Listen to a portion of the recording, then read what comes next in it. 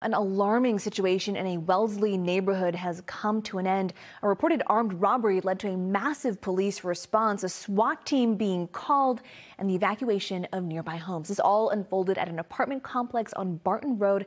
Tonight, we know several people have been arrested. NBC 10's Aaron Logan has the new developments. Well, Bianca, this whole situation started when a man says his prescription drugs were stolen in one of these apartments. He says when he confronted a person, they pointed a gun at him. And when police were called here and no one would come outside, they were not taking any chances. The SWAT team, canines, flashing lights, and more than 70 people asked to leave their homes. This is certainly not a typical scene here at this Barton Road public housing complex in Wellesley. It does make me say, whoa, why here? Why right now? Wellesley police got a call from a man saying he was robbed at gunpoint at one of the homes here. The caller said he met one of the residents Saturday night in Boston and mentioned he was looking for an Airbnb. That person offered to let him stay here for $40. He checked his backpack, uh, found that he was missing prescription medication.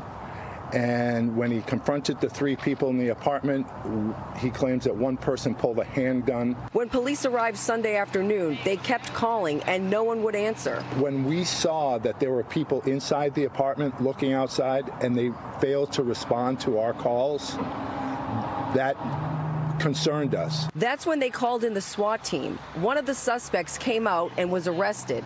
Shortly after, the woman who rents the apartment came outside and was also arrested. We made contact with the final person, the person we suspect who pulled the, the weapon, and um, talked him out of the apartment.